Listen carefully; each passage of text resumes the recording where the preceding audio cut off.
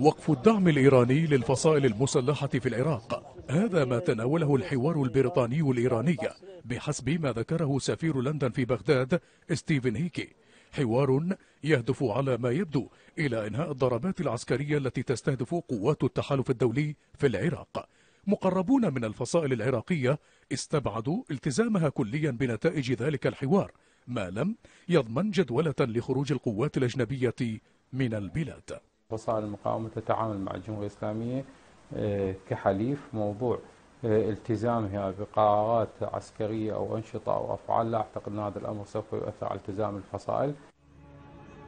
ويرجح خبراء أن يكون مصير الفصائل المسلحة مرهونا بتسوية أطرافها إقليمية ودولية وأن تقود الحكومة العراقية عملية تنفيذها لضمان قبولها داخليا.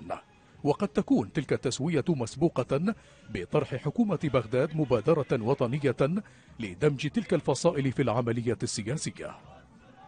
بقدر تعلق الأمر في الفصائل في تقديري تحتاج من صانع القرار السياسي.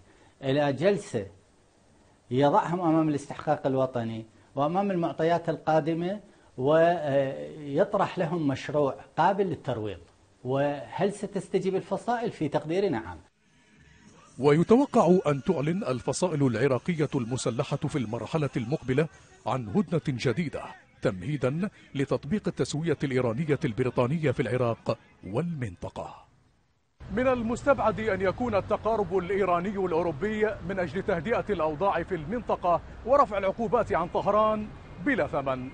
وربما يكون تخلي إيران عن بعض حلفائها في العراق بعد سنوات من العمل المشترك مؤشرا على ذلك.